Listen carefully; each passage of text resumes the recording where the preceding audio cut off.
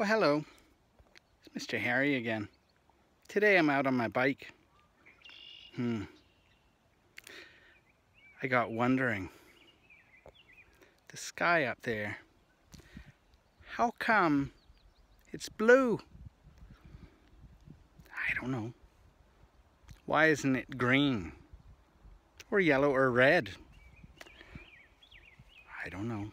Hmm.